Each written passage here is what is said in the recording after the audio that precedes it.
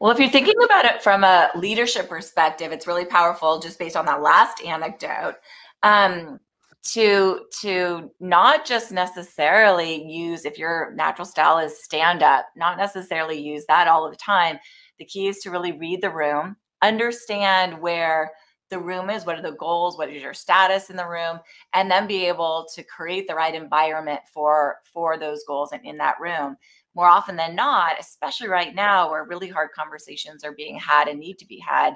um, it oftentimes helps to shift into potentially a magnet or a sweetheart mode because those two modes are really good at creating inclusive environments where challenging hmm. conversations can, can be had.